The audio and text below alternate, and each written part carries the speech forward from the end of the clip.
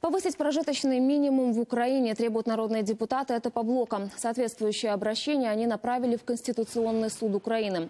Документ подписали больше 50 нардепов. Все они настаивают на том, что бюджет на этот год нужно пересмотреть, а социальные стандарты для населения поднять, включая и пенсии, и зарплаты. По словам Натальи Королевской, найти на это деньги в бюджете вполне реально.